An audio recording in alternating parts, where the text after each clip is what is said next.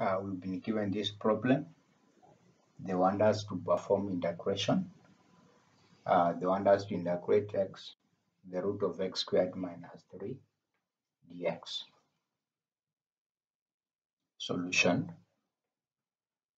Um, for us to integrate this, let we let u equals to x squared minus minus 3. So if we let u equals to x minus x squared minus 3, therefore our integral will be, become integral of x. So now uh, this is now our, our u. And then the square root symbol is the same as raised to a half. So we shall have x u raised to, now it will be a half, then dx.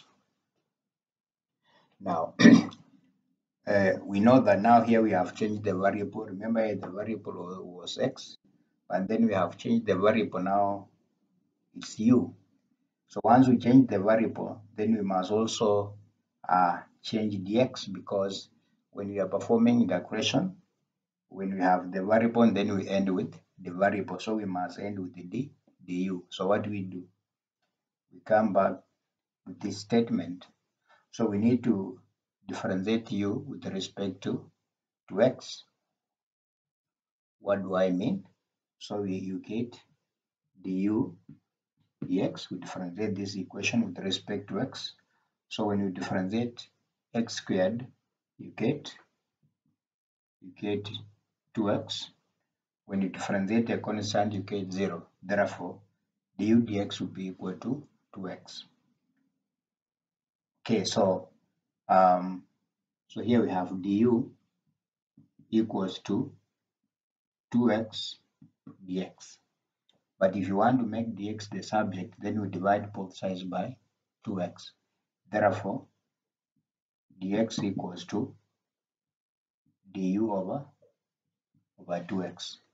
Now we have expressed dx in terms of du.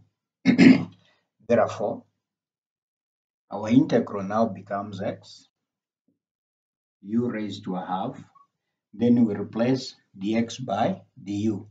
So dx is given by du over, over 2x. so from here you can see that we have this x will cancel with that x and then we have our constant here, which is 1 over 2. We take it out of the integral sign.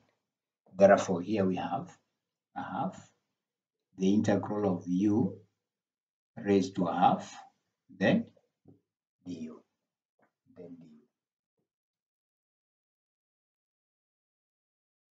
Okay, from the integration formula, we know that the integral of x raised to n dx is given by x raised to n plus 1 over n plus 1 then plus a constant of integration. Therefore, for us to integrate this, so we shall have um, it will be equal to a half. So when you integrate that, it will be a half into u raised to a half, which is our n plus 1, then over n, which is a half, plus 1, then plus constant of integration, plus a constant of integration.